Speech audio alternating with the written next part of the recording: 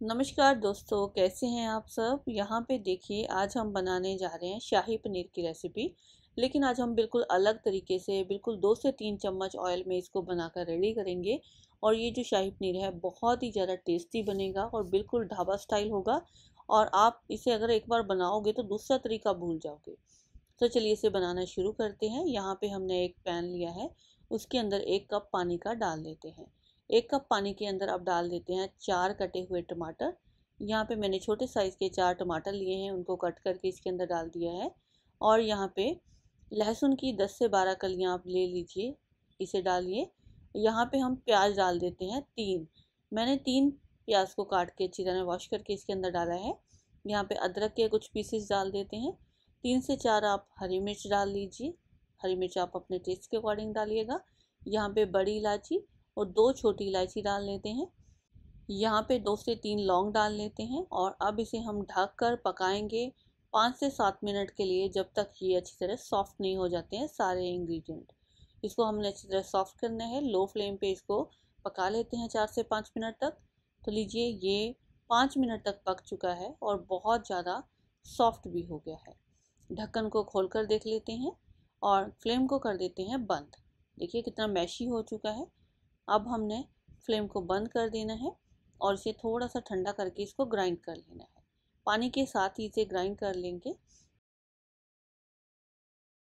यहाँ पे हमने एक पैन के अंदर तीन चम्मच ऑयल के लिए हैं। यहाँ पे बे लीव्स डाल देंगे, तेज पत्ता, जीरा डाल देते हैं एक चम्मच और यहाँ पे हल्दी डालेंगे आधा चम्मच के करीब और यहाँ पे डालेंगे एक चम्मच कश्मीरी लाल मिर्च। ये रंग के लिए डाली है हमने। यहाँ पे हम जो प्यूरी बना चुके हैं, मसाला बनाया है जो हमने, टमाटर प्याज का, उसको इसके अंदर डाल देते हैं। इस टमाटर प्याज की प्यूरी को हमने इसके अंदर डालकर भूनना है। अब यहाँ पे नमक डाल लेते हैं अपने टेस्ट के अकॉर्डिंग मैंने एक चम्मच नमक का इसके अंदर ऐड किया है और अब इसे हमने अच्छी तरह पका लेना है। आपने मसाले को अच्छी तरह भूनना है ताकि इसका टेस्ट आए। तो पाँच से सात मिनट इसको भूनने में लग जाएँगे। इसको आपने मीडियम फ्लेम पे पकाना है। जब तक मसाला पक रहा है ग्राइंडर में हम आठ से दस काजू लेते हैं।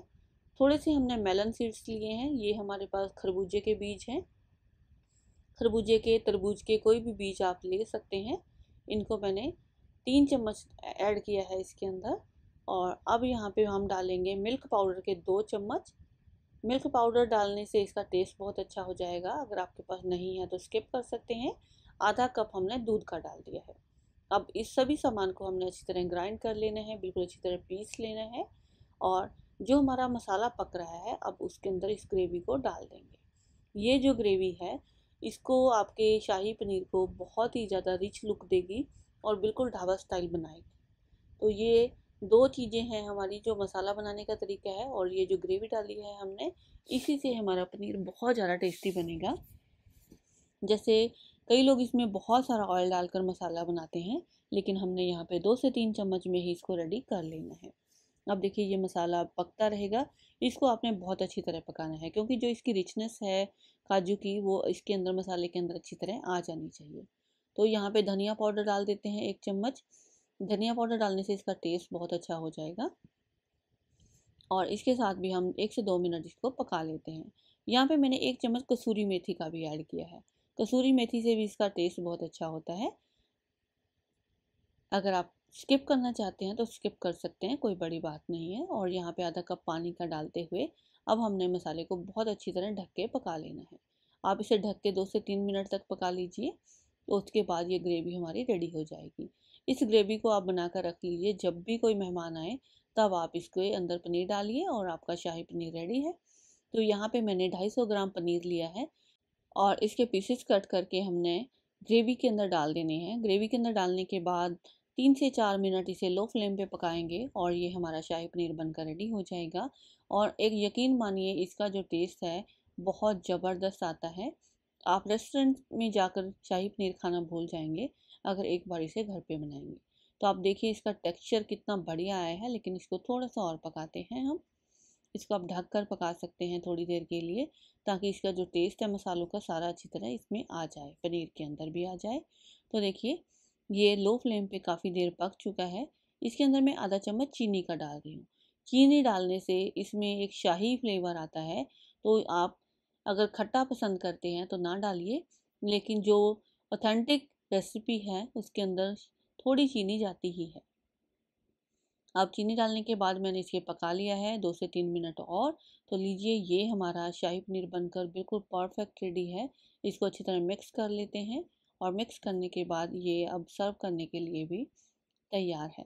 इसके अंदर थोड़ा सा धनिया डाल दीजिए आप, धनिया पत्ती और फिर इसको मिक्स कर लीजिए। इसे आप चावल के साथ, नान के साथ, रोटी के साथ सर्व करेंगे तो आपको ये बहुत ज़्यादा पसंद आएगा। मेरी फैमिली में शाही पनीर बहुत ज़्यादा पसंद करते हैं तो मैं बार बार बनाती हूँ और कम मेहनत में ये बनकर रेडी हो जाता है। तो लीजिए आप देखिए इसका टेक्सचर कितना बढ़िया आया है। आज हम इसे चावल के साथ सर्व करेंगे।